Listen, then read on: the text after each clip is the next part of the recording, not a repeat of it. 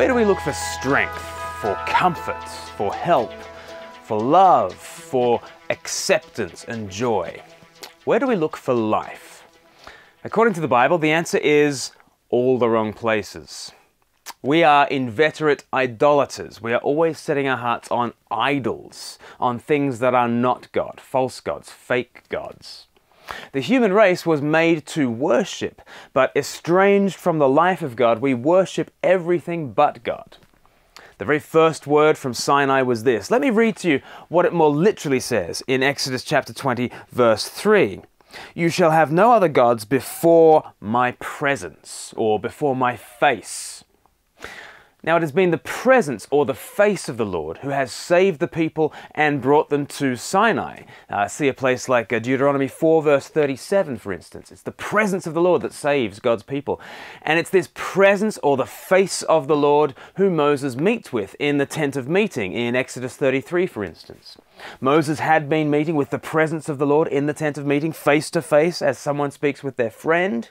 And then in the same chapter, Exodus 33, the Most High on top of the mountain tells Moses, Don't worry, as you set out on your journey through the wilderness, he says, My presence will go with you, my face will go with you. In other words, the Father sends the Son to deliver the people.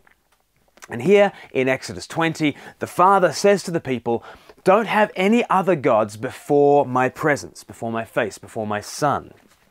You see, it's the Son of God who is the true divine image. He is the one who we're meant to look to in order to see God. He is the one we look to in order to receive life.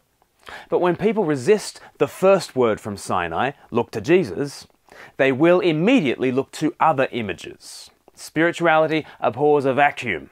As G.K. Chesterton once said, when a man stops believing in God, he doesn't then believe in nothing, he believes in anything.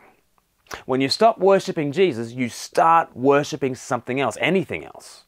And so here comes the second word from Sinai. The second word from Sinai from verse 4 You shall not make for yourself an image in the form of anything in heaven above, or on the earth beneath, or in the waters below. You shall not bow down to them or worship them. For I, the Lord your God, am a jealous God. We'll think about that tomorrow. But do you think of yourself as an idolater?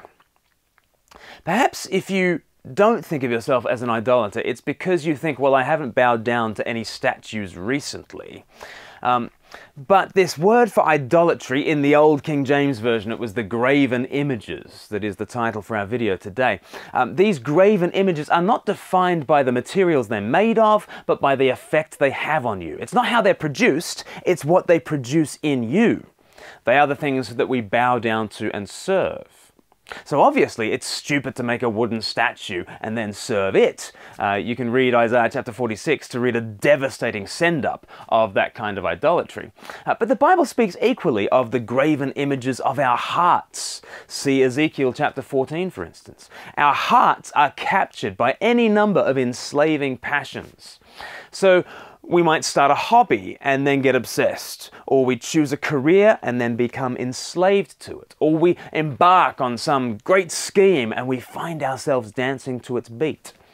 That's just like carving an idol and then bowing down to it.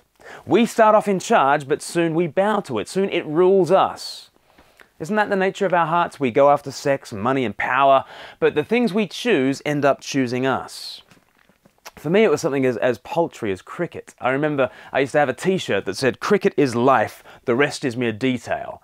Uh, and though I'd laugh about it, that was essentially the way I lived. I would spend every hour I could chasing a little red ball around a field. And, and when my cricketing dreams were ended, how did I feel? Did I feel like a failed cricketer?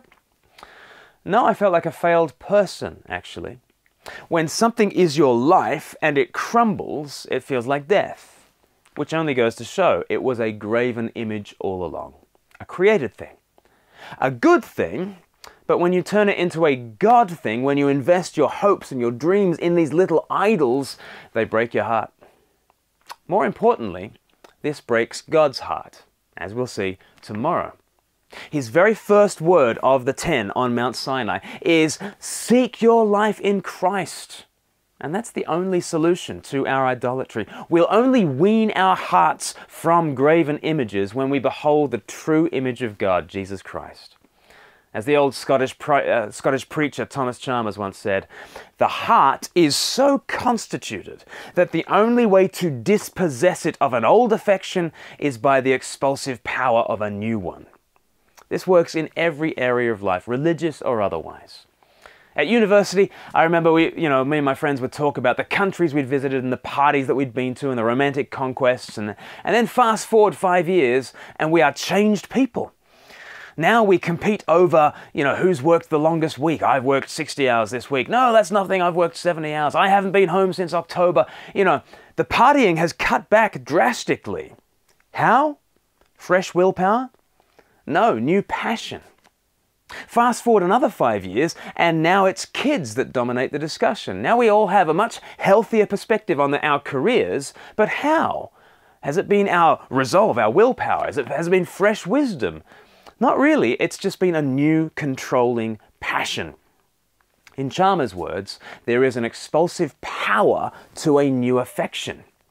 But there is the greatest power in that original affection, the presence and wisdom and image of God, Jesus Christ. He is our first love.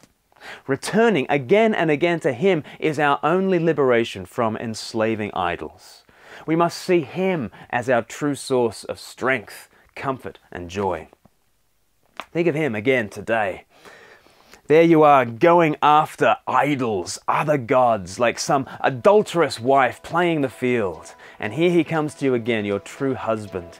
And instead of cutting you off forever, he sweeps you off your feet and he says, You've taken your eyes off me, but I never took my eyes off you. Jesus says to us, Look, forsake the fakes. Look again to the real deal.